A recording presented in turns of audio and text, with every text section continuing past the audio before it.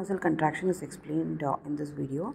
You can see these are the actin molecules this is a myosin molecule this red color one here is a myosin light chain.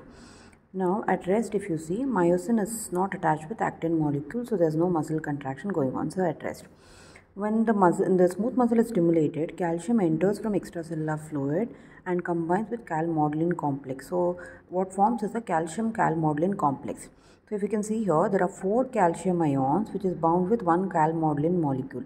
So this complex of calcium calmodulin complex activates myosin light chain kinase. Kinase is an enzyme in the body which helps in phosphorylation. So now here, as the name suggests, myosin light chain kinase phosphorylates the myosin head. So you can see here, a phosphate group is added from ATP, okay. So this muscle, uh, myosin light chain undergoes phosphorylation, myosin head is energized. So what happens is myosin head will go and attach with the actin molecule and once this bends and uh, power stroke happens, the muscle goes for contraction. So when I tell a cross bridge is formed here, it means myosin head is attached with the actin molecule which you call it as a cross bridge, okay.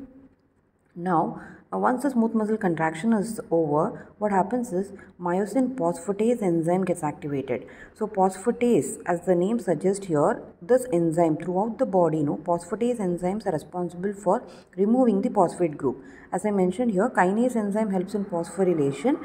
Phosphatase enzyme causes dephosphorylation. So, it is removal of the phosphate group. So, once the myosin light chain is dephosphorylated, the myosin head gets separated from the actin molecule and the muscle goes for relaxation. So there is a detachment of cross bridge here.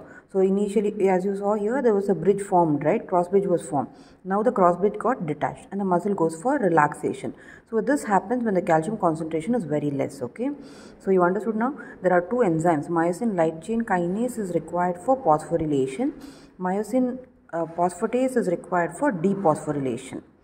Now if you see here there's a mechanism called latch bridge mechanism. If you see in this what has happened is the myosin head is dephosphorylated see there's no phosphate group here but still the cross bridge is still there okay so here what happens is the rate of cross bridge cycle is decreased. It means the cross bridges is not getting separated easily from the actin molecule even after dephosphorylation.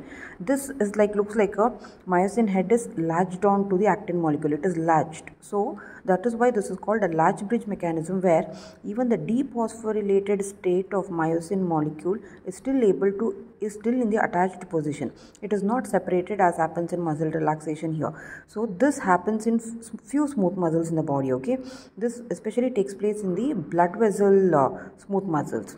And how this helps is like see even without the presence of ATP so when I tell phosphate it is nothing but uh, it this is derived from a ATP molecule.